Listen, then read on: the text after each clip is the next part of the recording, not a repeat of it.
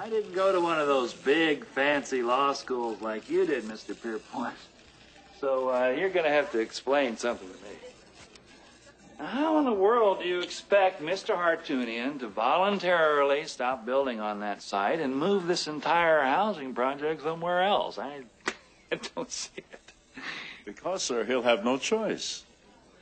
Well, let me explain how the legal system really works. Okay.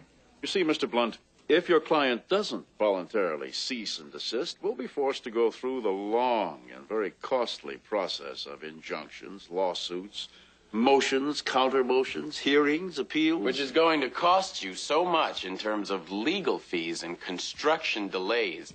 You'll wish you'd never heard of the Historical Preservation Society.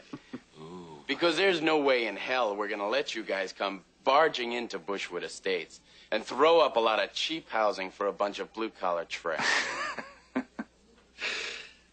Uh, which one of you is Chandler Young's son? I am. Well, you've certainly made it very clear how your legal system works, Mr. Young. Now I'd like to explain a little bit about the Peter Blunt system.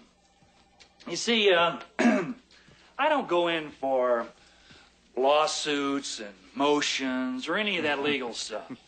No, no. See, see what happens is uh, I find out where you live, and then I come to your house. See, and I beat down your door with a fucking baseball bat. And then I'm gonna make a bonfire with a Chippendale, maybe roast that golden retriever, then eat, and then I'm coming upstairs, Junior, and I'm gonna grab you by your Brooks Brothers PJs, and then I'm gonna take your brand new BMW and cram it up your tight ass. Do we have an understanding?